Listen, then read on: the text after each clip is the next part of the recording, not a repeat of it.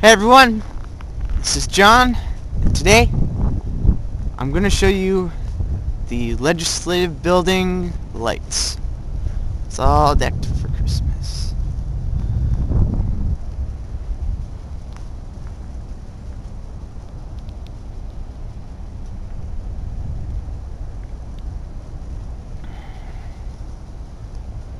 I'll see you later.